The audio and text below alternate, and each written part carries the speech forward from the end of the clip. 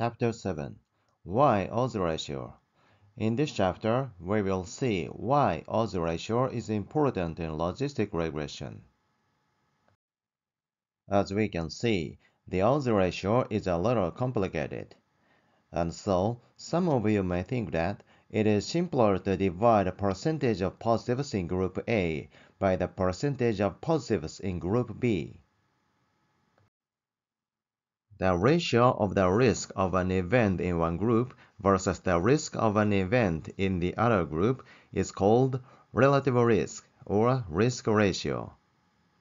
Relative risk represents the ratio of the probability of occurrence itself, while the odds ratio represents the ratio of the probability of not occurring to the probability of occurring.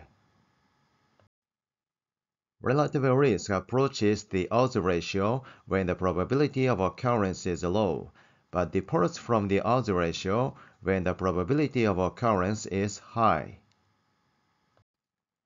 Odds ratio is important in case control studies.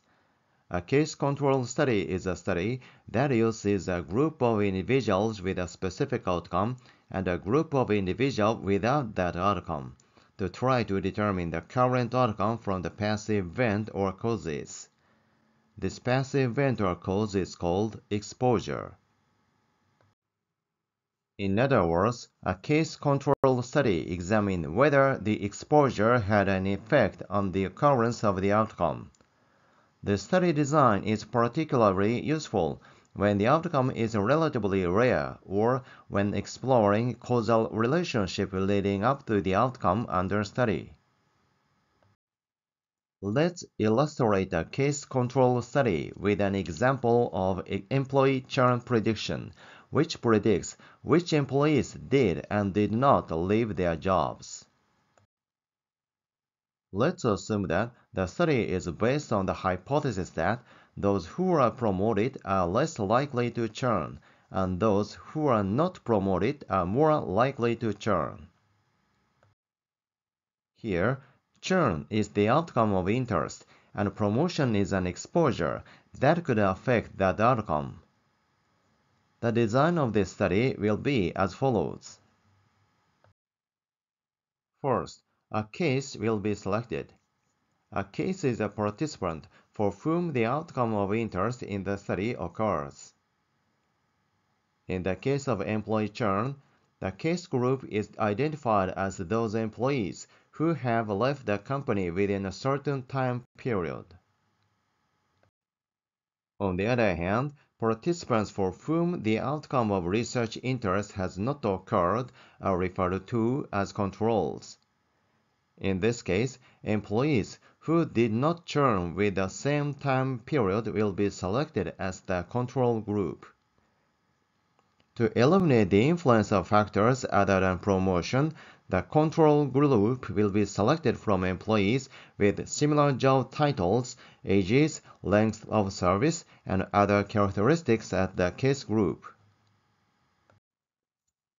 Information on the promotions will then be collected for both groups of employees. The researcher then compares the presence or absence of promotions between employees who churn and who did not churn to assess the impact of promotions on employee churn.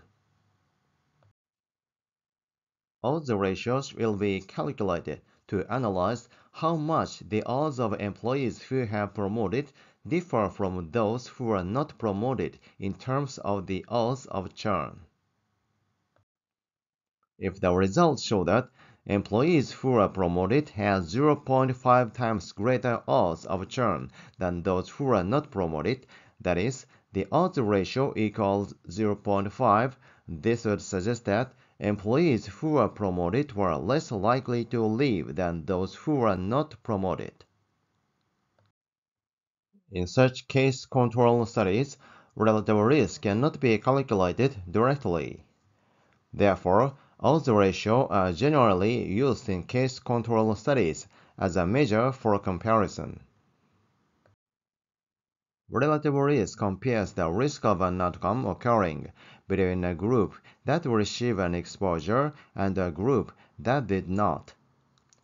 In this example, we compare the risk of churn between promoted employees and those who are not promoted. However, because case control studies select cases and controls based on the occurrence of an outcome, the incidence of the outcome in the population as a whole cannot be directly estimated.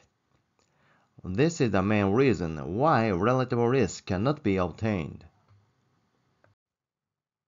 However, you may think that we can statistically estimate the incidence of the outcome in the overall population if we randomly sampled participants and then divided them into case and control groups. So, why do case control studies select cases and controls based on the occurrence of outcomes? The reason for selecting cases and controls based on the occurrence of outcomes in case control studies are primarily based on the following objectives and limitations. Case control studies are designed to efficiently identify risk factors for outcomes with particularly low incidence. By comparing individuals in whom the outcome has already occurred with those in whom it has not, the association between the presence or absence of risk factors and the outcome can be efficiently tested.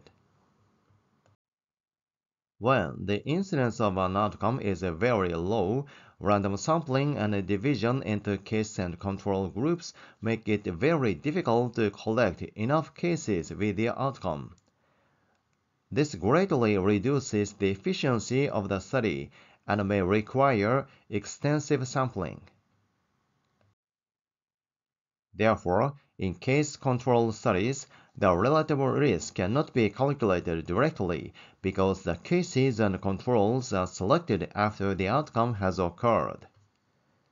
Instead, the odds ratio can be used to effectively assess the association between exposure and outcome.